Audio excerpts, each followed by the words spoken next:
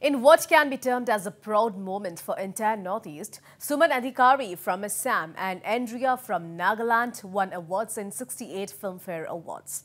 Well, Notably, Suman Adhikari has won awards in two categories for the film Badhai Do. Suman Adhikari won the award for the best story and best screenplay for the film. Worth mentioning here is that uh, earlier Suman Adhikari's screenplay and directed short film Sorry Bhai Saab also won the Filmfare Award. Meanwhile, uh, Nagaland's Andrea won the best debut actress for the film Anek. And we also have reactions coming in from Suman Adhikari himself as well as his family members. Listen in.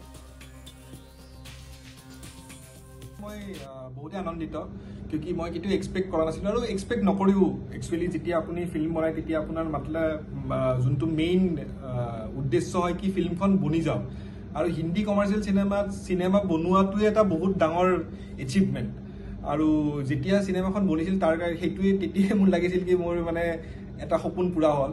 আৰু মই ভবা নাছিলোঁ কি মানুহে ইমান ভাল পাব আৰু ইমান মানে ক্ৰিটিকেলি এক্লেইমড হ'ব আৰু এনেকুৱা এৱাৰ্ড পাম সেইটো মই কেতিয়াও সপোনতো ভবা নাছিলোঁ। আৰু এইটো একচুৱেলি মোৰ ছেকেণ্ড ফিল্ম ফেয়াৰ মই আগতো মোৰ শ্বৰ্ট ফিল্মখনে ছয় মাহ আগতে বেষ্ট ফিল্ম ফেয়াৰ এৱাৰ্ড পাইছিল ফৰ বেষ্ট শ্বৰ্ট ফিল্ম তেতিয়াহ'লে মানে এই এই ছয় মাহৰ ভিতৰত তিনিটা ফিল্ম ফেয়াৰ পালোঁ সেইটো কেতিয়াও সপোনতো ভবা নাছিলোঁ।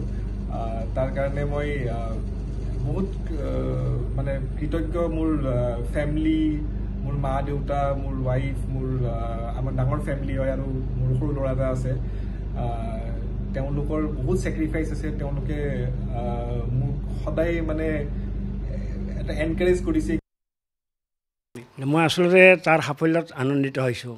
আৰু যাতে আগলৈকো সি আগবাঢ়ি যায় সেইখিনি ভগৱানৰ ওচৰত প্ৰাৰ্থনা কৰিছোঁ। এই যি বধাইদেউ ছবিখন সেই বধাইদেউ ছবিখন আপুনি চাইছেনে? মই চাইছোঁ। তাৰমানে চাই মেলাই আচলতে মই ভালকৈ বুজি পোৱা নাছিলোঁ। তাৰ মই মানে ষ্টুডেণ্টছ টিউশ্যনৰ ষ্টুডেণ্টক মই সুধিলোঁ তাৰ হিচাপত ছাৰ এইখন ইউনিক ছবি এইখন কাহিনীটো তাৰ কৰ্মচাৰী মই তেতিয়াহ'লে এইখন ছবিয়ে নিশ্চয় এদিন ক'ৰবাত নহয় ক'ৰবাত পুৰস্কাৰ পাব এইটো মই আশাবাদী। আৰু এই কথাটো মই তাক কৈছিলোঁ। সি আমাৰ চেণ্ট্ৰেল স্কুল কেন্দ্ৰীয় বিদ্যালয় খানাপাৰাৰ পৰা কমাৰ্চত টপাৰ হৈ পেলাই পাছ কৰিছিল। তাৰ পৰা ৰামজছত এডমিশ্যন ল'লে। সি ইকনমিক্স অনাৰ্ছ লৈ গ্ৰেজুৱেশ্যন ল'লে। মই কৈছোঁ তই ইকনমিক্সত এম এ পঢ়। ঠিক কৈছে যে পিতা মই আপোনাৰ নিচিনা টিচাৰ হ'ব নিবিচাৰোঁ। তে কি কৰা? তাৰপিছত গৈ সি মাইকাত এডমিশ্যন ল'লে লৈ পেলাই কপি ৰাইটাৰ হিচাপে দিল্লীত কৰ্মৰত হ'ল। কিছুদিন কৰাৰ পিছত প্ৰায় দহ বছৰমান কৰাৰ পিছত সি মুম্বাইলৈ আহিল। মুম্বাইলৈ আহি তাতেও ভাল মানে ইনষ্টিটিউটত কপি ৰাইটাৰ হিচাপে থাকিল। থাকি পেলাই সেই লগতে তাৰ লগত মানে দেখিলে যে কপি ৰাইটাৰবিলাকে মানে চিনেমা লিখে। গতিকে সিও তাতে ষ্টাৰ্ট কৰিলে। ষ্টাৰ্ট কৰি পেলাই এই যিখন জংলী বুলি আছে জংলীখনৰ আচলতে কাহিনীটো বেলেগৰ। তাত দুজনে নাট্যৰূপ দিলে। আমি মুম্বাইত চালোঁ। তাৰপিছত বধাইদেউখন দিলে। সি কৈছে পিতা এক- একৈছ ফেব্ৰুৱাৰীত ৰিলিজ হ'ব চাব। তাত গৈ চালোঁ। আৰু আৰু মই ভবা নাছিলোঁ যে সি যে এইটো লাইনত গৈ সাফল্য লাভ কৰিব মই চিন্তা কৰা নাছিলোঁ অৱশ্যে। তেওঁ তাৰ এই ফিল্ম জগতৰ যাত্ৰাত ইমান সাফল্যত ভবা নাছিলোঁ মানে ইমানখিনি মানে হ'ব বুলি।